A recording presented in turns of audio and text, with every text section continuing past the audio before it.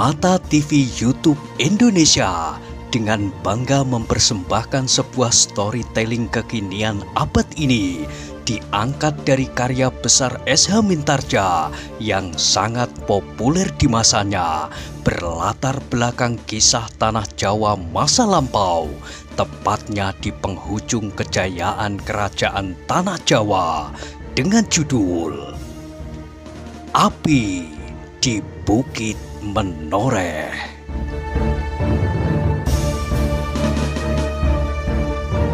Pada kesempatan yang sangat baik ini, kita masuk pada episode yang ke-137. Selamat menikmati. Pada episode sebelumnya telah diceritakan, Kiai Gringsing mengangguk-anggukkan kepalanya, katanya di dalam hati. Mudah-mudahan bukan kita Mbak Wadi sendiri bersama Sidanti dan Argojoyo. Namun kepada anak muda itu ia berkata, Jangan tergesa-gesa bersembunyi, dua orang menunggumu di ruang dalam rumah ini. Anak muda itu terkejut mendengar kata-kata Kiai Gringsing, bahkan wajahnya yang tegang menjadi bertambah tegang. Dengan tergagap ia bertanya, Siapakah kiai ini sebenarnya? Sudah aku katakan, sahut Kiai Gringsing. Jangan hiraukan aku. Marilah, masuklah ke dalam rumah ini. Ada dua orang yang sedang menunggumu. Tetapi katanya terputus dan keraguan-raguan mulai melanda perasaannya. Kiai Gringsing tersenyum. Katanya, Apakah kau sangka aku salah seorang dari mereka itu? Bukan, Ger. Aku bukan salah seorang dari mereka. Anak muda itu menarik nafas dalam-dalam, namun ia menjawab, Kalau demikian, aku tidak ada waktu lagi. Aku harus bersembunyi saat ini mereka pasti sudah berjalan-jalan di jalan-jalan padesan kami. Suatu ketika ia akan melihat halaman demi halaman. Dan aku harus tidak mereka lihat di sini. Bahkan Kiai pun sebaiknya masuk ke dalam rumah. Tetapi siapakah kedua orang yang menunggu aku di dalam rumah? Kalau mereka itu anak-anak muda, sebaiknya mereka bersembunyi juga. Supaya mereka tidak terpaksa melakukan hal-hal yang tidak mereka kehendaki sendiri. Jangan tergesa-gesa, Ger. Nanti baiklah kau bersembunyi. Tetapi marilah masuk dahulu. Orang-orang dari lereng Merapi itu pasti memerlukan waktu yang lama untuk melihat setiap halaman sebelum ia sampai ke halaman ini. Bahkan mungkin sekali mereka tidak akan masuk ke rumah ini. Memang, sahut anak muda itu. Kemungkinan itu memang dapat terjadi tetapi kemungkinan yang lain pun dapat pula terjadi. Satu dari dua, kalau yang satu itu terjadi, maka celakalah aku. Rumah ini sudah dihancurkan, Ger. Perabot-perabotnya sudah porak-poranda tidak karuan. Apakah mereka masih mungkin datang kemari? Kemungkinan itu selalu ada. Tetapi masuklah sejenak di dalam rumah ini ada dua orang anak muda yang seorang mungkin Angger telah mengenalnya. Namanya Agung Sedayu. Agung Sedayu. Anak muda itu mengulangi. Agung Sedayu yang mempunyai rumah ini. Iya, sahut Kiai Gringsing. Oh, kasihan anak itu.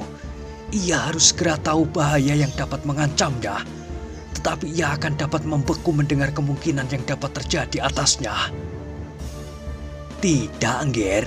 Ia tidak akan menjadi gentar mendengar apa pun yang dapat terjadi atasnya. Karena itu marilah, beritahukan kepadanya apa yang dapat terjadi.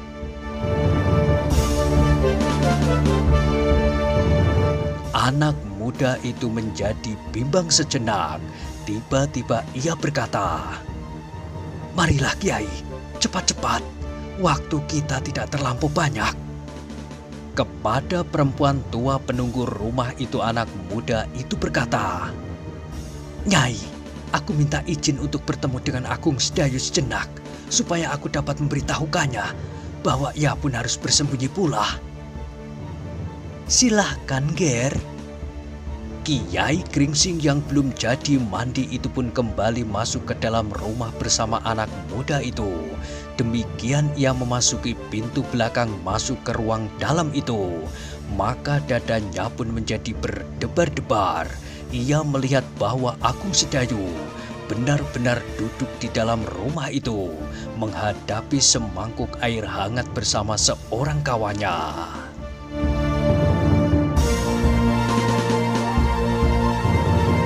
Sedayu. Sapa anak muda itu. Agung Sedayu berpaling. Ia terperanjat ketika dilihatnya Kiai Gringsing masuk ke rumah itu bersama seorang anak muda. Tetapi kemudian terdengar ia menyapa sambil berdiri tergopoh-gopoh. Kakang Wuranto, Pertemuan itu adalah pertemuan yang tidak terduga-duga. Keduanya pun kemudian duduk di samping Swandaru yang kemudian diperkenalkannya kepada anak muda yang bernama Wuranto itu. Aku tidak tahu bahwa kau berada di sini, Sedayu. Berkata Wuranto, adalah nasibmu memang kurang baik. Sejak kau meninggalkan rumah ini, agaknya baru kali ini kau kembali. Iya, sahut Agung Sedayu. Kalau saja kakakmu Untara ada. Kenapa? Bertanya Agung Sedayu. Aku masuk ke halaman ini untuk bersembunyi. Kau dan tamumu itu pun sebaiknya bersembunyi pula. Hari ini orang-orang dari lereng Merapi kembali memasuki patisan ini. Hampir dua hari sekali, bahkan kadang-kadang setiap hari mereka datang kembali ke patisan ini. Kemarin dulu mereka telah merusak rumah dan perabot rumahmu ini.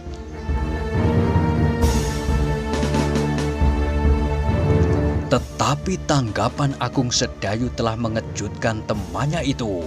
Ia menyangka Agung Sedayu akan gemetar dan ketakutan. Kemudian lari terbirit-birit ke atas kandang atau ke bawah kolong lumbung rumahnya. Namun kali ini ia melihat Agung Sedayu tersenyum dan berkata, Aku akan menunggu mereka Kakang Wuranto. Siapa sajakah yang kali ini datang ke patisanku ini? Sejenak Wuranto terbungkam. Hampir-hampir ia tidak percaya melihat sikap itu. Siapa sajakah yang datang kali ini Kakang Wuranto? Kembali Agung Sedayu bertanya. Si Danti, Argojoyo, Sono Keling, atau alap-alap Jolotundo. Kau telah mengenal nama-nama mereka, Adis Dayu. Memang demikianlah nama-nama mereka. Kadang-kadang mereka datang bersama-sama, tetapi kadang-kadang salah seorang dari mereka datang bersama beberapa orang laskarnya. Kali ini berapa orangkah yang datang? Aku hanya melihatnya dari kejauhan, enam atau tujuh orang tetapi aku tidak melihat para pemimpin itu datang bersama-sama. Mungkin hanya satu dua orang saja yang datang, yang tidak dapat aku lihat dengan jelas. Mungkin datang pula rombongan yang lain. Agung Sedayu mengangguk-anggukkan kepalanya. Tiba-tiba ia tersenyum sambil bergumam. Kita berempat. Nah, kalau demikian, marilah kita songsong kedatangan mereka.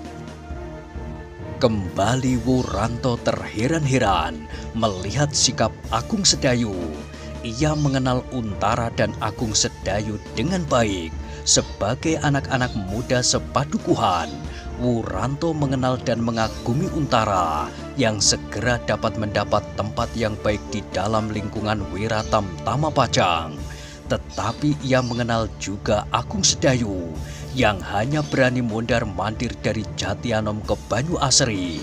Bahkan anak itu kadang-kadang menggigil ketakutan apabila ia agak kemalaman di jalan. Anak-anak muda sepadukuhan menyebut kedua bersaudara itu seperti anak siang dan anak malam.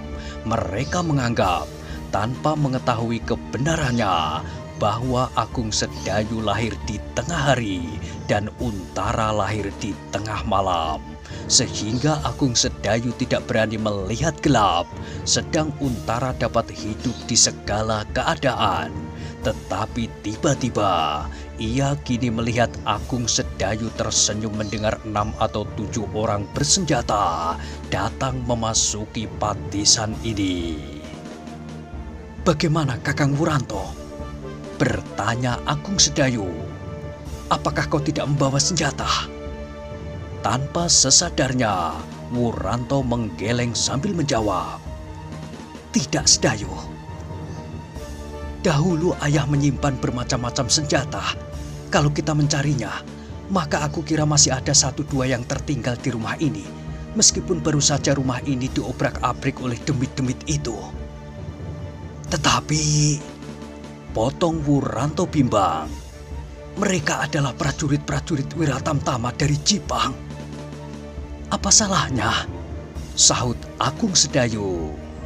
Melihat sikap Agung Sedayu itu, Wuranto justru menjadi bercuriga. Seharusnya Agung Sedayu menjadi pucat dan menggigil kecemasan. Seharusnya anak muda itu bertanya kepadanya sambil gemetar. Kakang Wuranto, ke mana aku harus bersembunyi? Tetapi Agung Sedayu tidak berbuat demikian. Meskipun demikian Wuranto tidak akan dapat menyangka bahwa Agung Sedayu termasuk di dalam lingkungan orang-orang yang kini berada di lereng Merapi itu. Sebab kakaknya, Untara adalah Senopati Wiratam Tamapajang. Karena itu maka Wuranto sejenak tidak segera dapat menjawab. Swandarulah yang agaknya tidak bersabar lagi. Tiba-tiba ia berdiri sambil mengingsar pedangnya ia menggeliat. Katanya, Hmm, untunglah aku sudah minum air hangat pagi ini. Mungkin aku harus segera minum darah si Danti. Wuranto terkejut mendengar kata-kata anak yang gemuk dan bernama Swandaru Geni itu. Dengan wajah yang tegang dipandanginya, wajah yang bulat yang kini sedang menguap. Si Danti menurut pendengarannya adalah seorang anak muda yang ditakuti di lereng Merapi. Sebab ia adalah murid Ki Tambak Wedi tetapi anak yang gemuk itu dengan seenaknya menyebut namanya, bahkan sambil menggeliat dan menguap. Marilah Kakang Wuranto, ajak Agung Sedayu. Bukankah kau masih Kakang Wuranto yang dahulu? Kakang Wuranto yang jago pinten yang ditakuti. Wuranto menarik keningnya. Sejenak ia terhenyak dalam keraguan-raguan kalau Agung Sedayu itu kini telah berani menyongsong kedatangan orang-orang dari lereng Merapi itu dengan pedang di lambungnya, kenapa ia tidak? Dalam kebimbangan itu, tiba-tiba terdengar Kiai Gringsing berkata, Angger Wuranto, tunggulah sebentar, aku mempunyai pendapat yang barangkali baik buat kita sekalian. Duduklah Swandaru. Aku tidak mau kehilangan mereka, Kiai. Kalau mereka masuk ke halaman ini, beruntunglah kami. Tetapi kalau tidak, maka aku akan kecewa sepanjang umurku. Ah, desah Kiai Gringsing. Duduklah. Swandaru menjadi kecewa, tetapi ia tidak berani membantah perintah gurunya. Angger, berkata Kiai Gringsing kepada Wuranto. Menilik sikap Angger yang ternyata bahwa Angger telah berbuat banyak untuk kawan-kawan Angger, anak-anak muda Jati Anom. Maka menurut penilaianku, maka Angger adalah salah seorang dari tetua anak-anak muda di padukuhan ini. Benarkah demikian? Tak ada yang mengangkat aku demikian, Kiai Sahut Wuranto pendek. Namun aku berbuat sekedar untuk kepentingan padukuhan serta anak-anak mudanya. Iya, iya, berkata Kiai Gringsing kemudian. Agaknya Angger Agung Sedayu pun telah mengenal Angger sebagai seorang anak muda yang pantas berdiri di depan. Ah, agaknya anggapan Adis Dayu salah. Tidak, Angger. Potong Kiai Gringsing. Tetapi aku mempunyai usul yang barangkali bermanfaat bagi kalian, bagi Jati Anom khususnya, dan bagi Pajang umumnya. Asal Angger bersedia melakukannya tetapi apa yang harus Angger lakukan adalah sesuatu yang cukup berbahaya.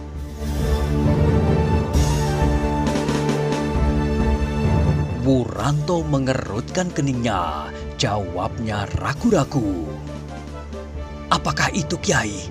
Meskipun demikian, meskipun aku harus berbuat sesuatu yang berbahaya, namun asalkan dapat menguntungkan patisan ini dan apalagi pajang, maka mudah-mudahan aku dapat melakukannya. Kiai Geringsing mengangguk-anggukkan kepalanya. Namun sekarang orang tua itulah yang ragu-ragu. Katanya, Tetapi taruhannya bukanlah taruhan yang dapat diperhitungkan dengan cacah. Taruhannya adalah nyawa. Namun kalau Angger berhasil, maka seluruh pajang akan berhutang budi pada Angger. Wuranto terdiam sejenak. Ditatapnya wajah kedua anak muda yang duduk di hadapannya, seakan-akan ia ingin bertanya. Kenapa bukan anak-anak muda itu yang harus menjalani? Angger Wuranto, berkata Kiai Gringsing yang seakan-akan dapat menjajaki perasaan anak muda itu. Angger Agung Sedayu dan Suandaru tidak akan dapat melakukan pekerjaan itu sebab mereka berdua telah dikenal dengan baik oleh Sidanti maupun oleh Sono Keling. Wuranto mengerutkan keningnya mendengar kata-kata orang tua itu. Ternyata Agung Sedayu dan kawannya yang bulat itu telah mengenal dan bahkan dikenal oleh pemimpin laskar yang berada di lereng Gunung Merapi itu. Tetapi apa yang harus dilakukan menurut orang tua itu pun telah mendebarkan hatinya dengan nada yang datar Wuranto bertanya. Apakah sebenarnya pekerjaan yang harus aku lakukan itu Kiai? Angger Wuranto berkata Kiai Gringsing. Apakah Angger satu dua kali pernah ditangkap oleh orang-orang Merapi itu? Aku sendiri belum kiai. Jawab Wuranto. Tetapi beberapa di antara kami pernah mengalami. Bagaimanakah perlakuan mereka atas kalian? Mereka tidak begitu menakutkan kiai. Tetapi kadang-kadang mereka bersikap kasar. Apalagi kalau kami tidak mau menuruti perintah-perintah mereka. Meskipun demikian, kami tidak ingin bekerja bersama dengan mereka Justru karena kami tahu bahwa mereka adalah orang-orang yang tidak memihak pajang. Adakah kadang-kadang mereka membujuk kalian untuk ikut dengan mereka? Sekali dua kali hal itu pernah dilakukan Kiai. Bagus, sahut Kiai Gringsing. Itulah yang aku harapkan. Angger Wuranto, Angger adalah anak muda yang akan dapat membantu kami tetapi kami tidak akan menekankan maksud ini. Terserahlah kepada Angger. Kami hanya menawarkan kesempatan kepada Angger untuk mencoba memberikan sesuatu kepada Pajang. Dan sudah tentu kepada padukuhan ini, kepada kademangan ini. Namun sekali lagi aku beritahukan, taruhannya adalah nyawa.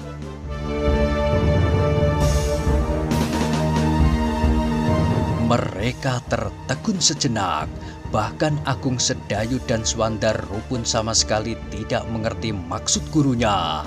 Anak-anak muda itu pun sejenak terdiam. Wajah mereka memancarkan keraguan-raguan hati mereka. Angger Wuranto berkata Kiai Gringsing lebih lanjut. Bagaimana kalau Angger bersedia menerima tawaran mereka apabila kesempatan itu terbuka bagi Angger. Kiai, Hampir bersamaan Agung Sedayu dan Swandaru memotong kata-kata gurunya. Sedang Wuranto memandangi wajah orang tua itu dengan tegangnya. Tunggu dulu, sambung Kiai Gringsing. Aku belum selesai. Pekerjaan ini adalah pekerjaan yang jauh lebih berat dari pekerjaan prajurit yang bertempur di medan-medan perang. Orang tua itu berhenti sejenak, kemudian dilanjutkannya. Bukankah dengan demikian Angger ada di antara mereka? Nah, kami percaya bahwa meskipun Angger dalam wujud jasmania berada di antara mereka, namun Angger akan tetap berjuang untuk kepentingan Pajang dan Jati Anom.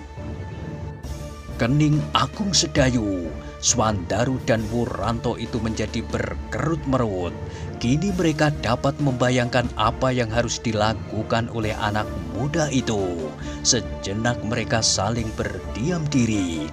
Wajah Wuranto yang tegang menjadi bertambah tegang. Dipandanginya, wajah Agung Sedayu dan Swandaru berganti-ganti. Pekerjaan itu memang sangat berat, Ger berkata Kiai Gringsing kemudian. Tetapi apabila Angger berhasil, maka Angger telah ikut serta membebaskan daerah ini dari ketakutan dan kecemasan. Sejenak Wuranto mencoba mencernakan kata-kata orang tua itu. Dicobanya membayangkan apakah yang dapat dilakukan di antara orang-orang yang menakutkan itu apakah yang dapat diperbuatnya seorang diri di dalam sangkar bekas-bekas prajurit Jepang dan orang-orang dari Padepokan Kitambak Wedi. Kalau Angger dapat berhasil berada di antara mereka, berkata Kiai Gringsing seterusnya, maka pekerjaan Angger seterusnya adalah memberi kami beberapa penjelasan mengenai keadaan di dalam lingkungan mereka. Wuranto menarik nafas dalam-dalam. Ia telah dapat menggambarkan pekerjaan apa yang harus dilakukannya. Tetapi anak muda itu tidak segera dapat memberikan jawaban. Angger, berkata Kiai Gringsing lebih lanjut. Ketahuilah bahwa hari ini Selambat-lambatnya besok, Angger Untara akan datang bersama sepasukan prajurit yang cukup kuat. Tetapi mereka tidak akan dengan begitu saja memasuki padepokan Kitambak Wedi tanpa mengetahui seluk-beluk di dalamnya. Nah, kalau Angger berada di antara mereka, maka kami bertiga, Angger Agung Sedayu, Swandaru dan aku sendiri akan berusaha selalu berada di dekat Angger, di sekitar padepokan itu. Kami akan memasuki padepokan mereka menurut petunjuk-petunjuk Angger. Sedang dari luar, Angger Untara akan datang bersama pasukannya yang kuat, yang pasti akan dapat mengimbangi kekuatan Sidanti dan Sono Keling itu. Setitik keringat meleleh di kening Wuranto di dalam dadanya terjadilah suatu pergolakan yang dahsyat. Ia tahu bahwa dengan demikian, ia telah memberikan sumbangan bagi perjuangan prajurit Pajang dalam menghadapi sisa-sisa Laskar Sono Keling dan orang-orang Sidanti dari Padepokan Kitambak Wedi. Namun pekerjaan itu memerlukan ketabahan, kecerdikan, dan keberanian. Tetapi segala sesuatunya terserah kepada Angger Wuranto. Akhirnya Kiai Gringsing berkata, kami menanti pilihan Angger. Kalau Angger bersedia, maka sekarang kami harus berbuat sesuatu. Mencoba mengelabuhi orang-orang lereng Merapi yang sedang turun itu. Sehingga Angger mendapatkan kepercayaan daripadanya. Tetapi kalau Angger tidak bersedia, karena sesuatu hal, maka kami harus mengambil sikap lain, misalnya dengan membinasakan ketujuh orang itu.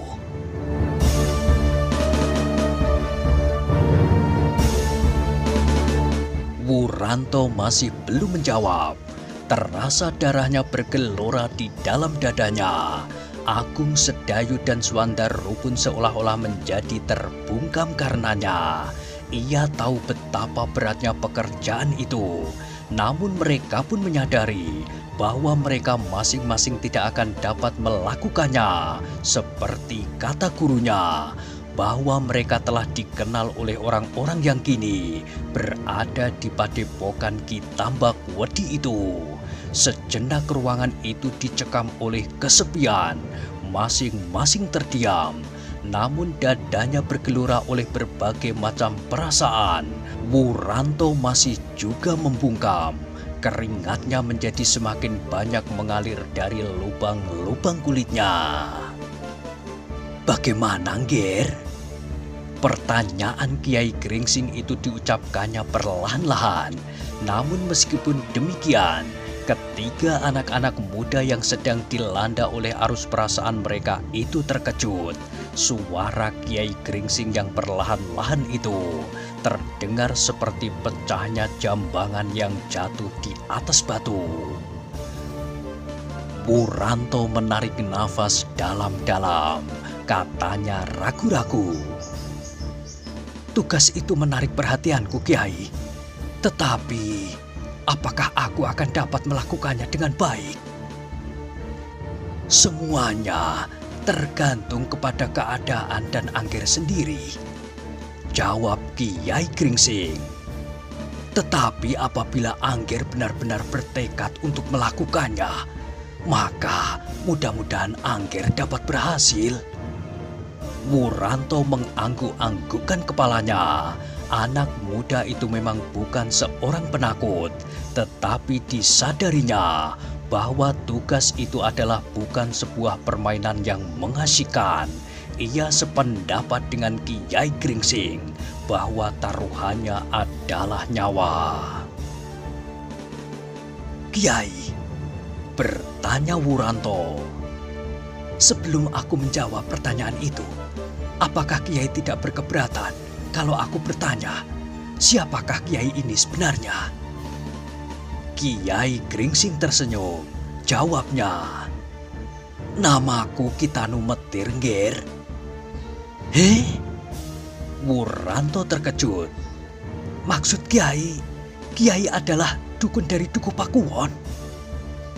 Iya, akulah Kitanu Metir itu. Mungkin Angger pernah mendengar namaku. Aku memang sering berusaha menyembuhkan orang yang sedang sakit.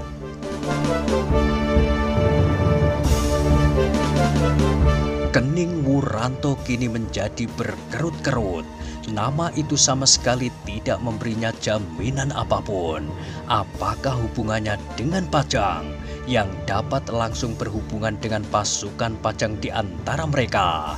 Hanyalah Agung Sedayu karena kebetulan Agung Sedayu adalah adik Untara. Tetapi apabila ia sudah berada di antara orang-orang Jipang, apakah Agung Sedayu dapat menjaminnya bahwa tidak akan ada salah paham kelak antara orang-orang Pajang dengan dirinya seandainya ia masih hidup?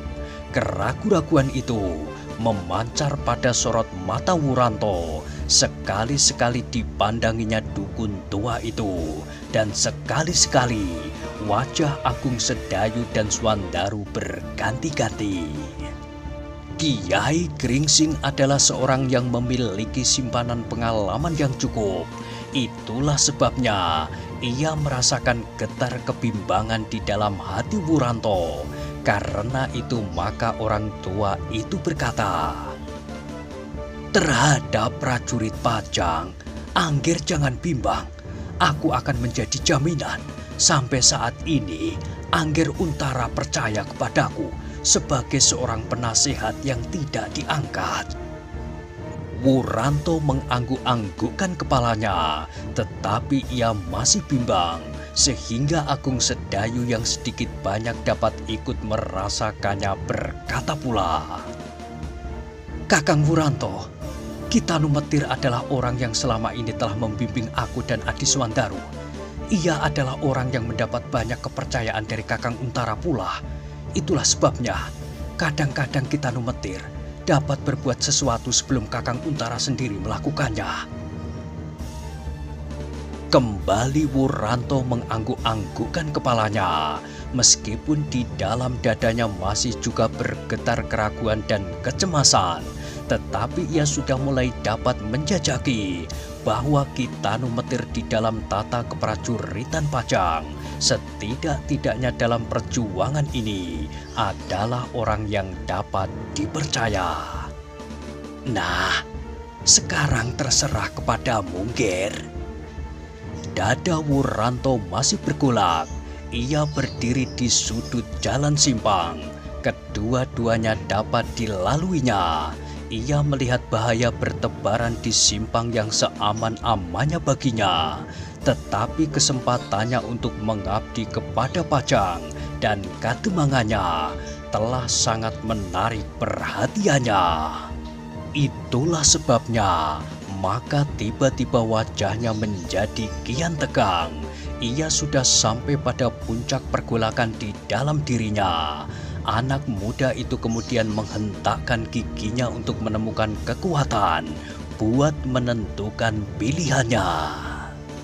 Akhirnya dengan suara bergetar ia berkata, Kiai, aku bersedia, tetapi tunjukkanlah aku jalan itu.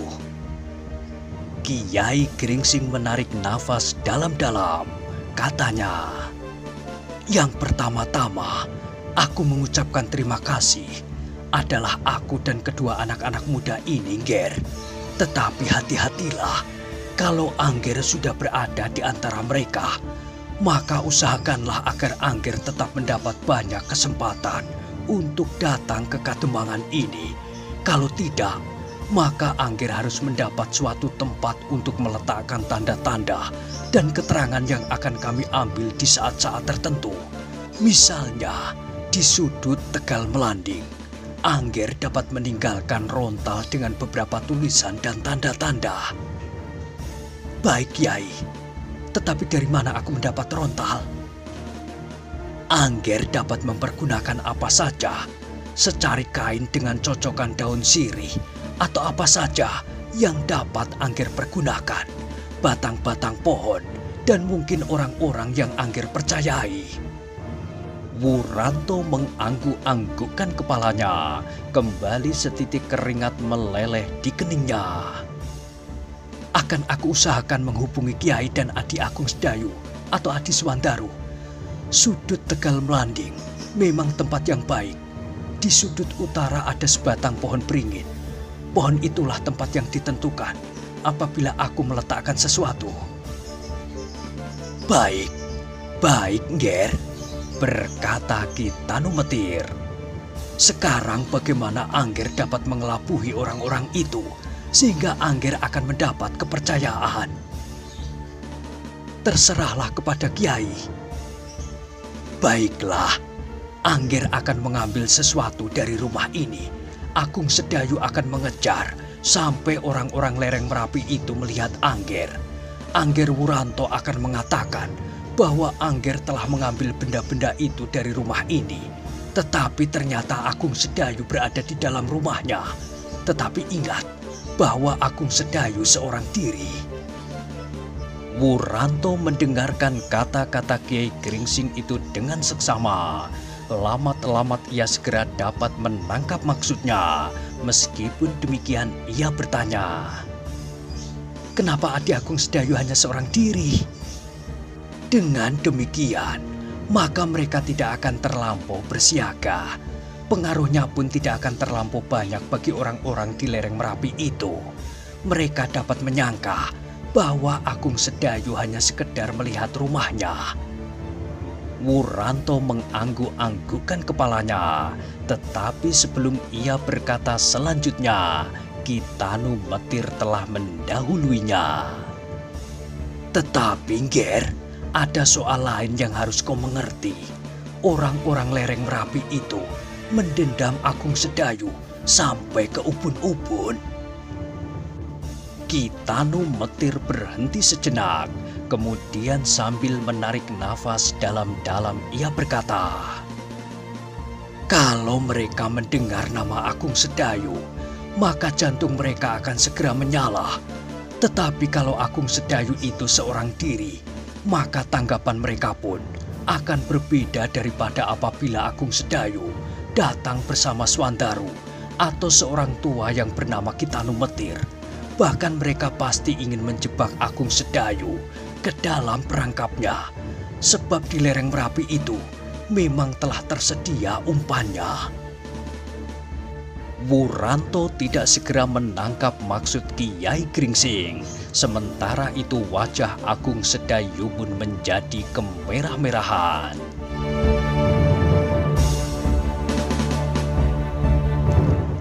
Nah, bagaimanakah kisah selanjutnya? Silahkan ikuti terus kisah Api di Bukit Menoreh pada episode berikutnya. Sampai jumpa. Thank you.